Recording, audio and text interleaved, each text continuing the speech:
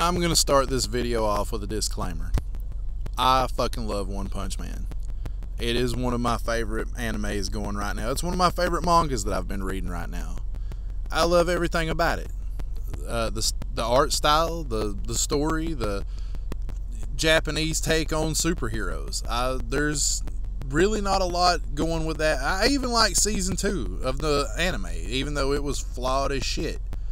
It is still one of my favorite animes right now. I, I just I can't get enough of it. I want another season. Like I wanted another season like yesterday.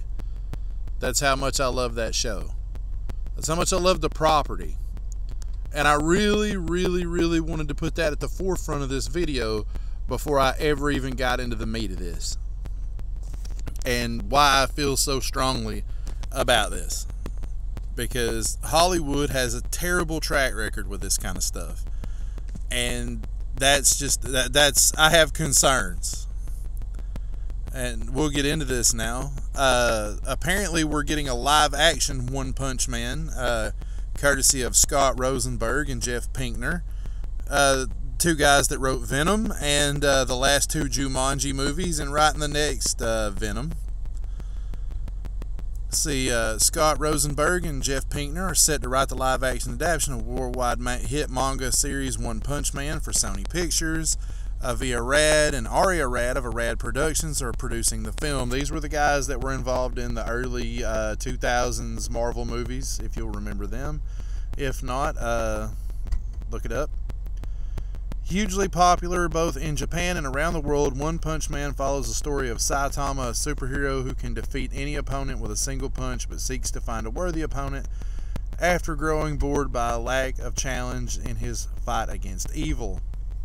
Created in 2009 by Japanese artist One as a webcomic, One Punch Man quickly went viral in 2012. It was then published on Shueisha Young Jump Next with illustrations by Yusuke Murata and I'll be honest, I like the old uh, one illustrations. They were goofy as shit, but they were funny as hell. If you get a chance, you can look those up. Uh, the old web comic, please do. They are highly amusing. But uh, Murata's work is amazing. I love his illustrations. The series saw worldwide sales of over 3 million copies when the English edition published by Viz Media debuted in the U.S. in 2015, the first and second volumes made the New York Times manga bestseller list and not really a milestone anymore. Nominated for an Eisner and a Harvey Award, not really. Uh, those don't really mean anything anymore either, but still a great property. One Punch Man has led to critically acclaimed TV, anime TV series as well as video and mobile game. I have not touched any of the One Punch Man games. The hero nobody knows, I haven't touched it. I I'm I love fighting games, but I love the 2D stuff. I'm not really that into the like it it looks like Ninja Storm, the Naruto Ninja Storm, and I'm just not about it. I, I used to like those games, but I, I, I my heart will always belong to 2D fighters. I, uh, I actually play Dragon Ball FighterZ quite a bit as far as anime games goes. Uh, looking into trying Granblue next, but that's that's kind of off topic. Let's get back to the Variety article here. Insider says Sony is very high on the property given its popularity and the possi- uh, possibility, I can read, of adding another franchise to the pipeline. Rosenberg and Pinkner have become favorites at Sony after penning the hugely successful Venom and Jumanji's. Jumanji the next level out the past December, blah, blah. And that is the article. Now let's get into why I don't really believe this is a good idea. Um, I'll just throw a few examples out there, and we'll start with Dragon Ball.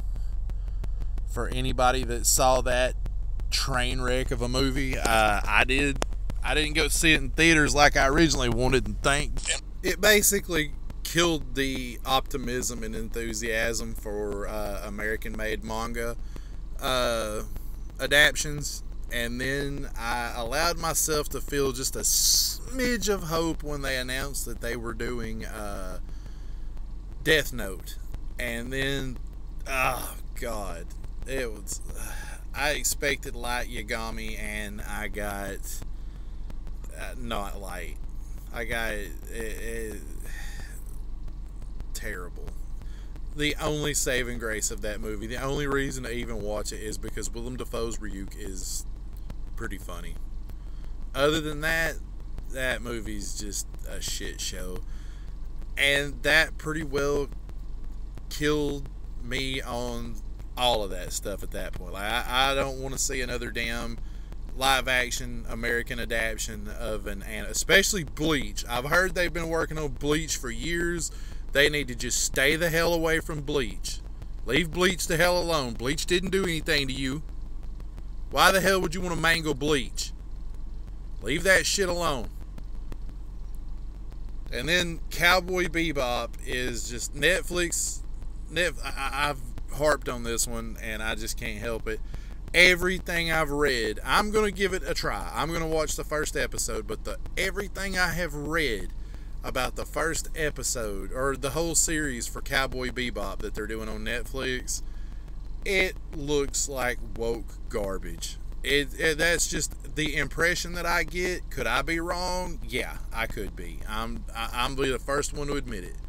If I'm wrong, I'll be the first one to make a video that says I was wrong. But right now, I am pretty confident that I'm not gonna be.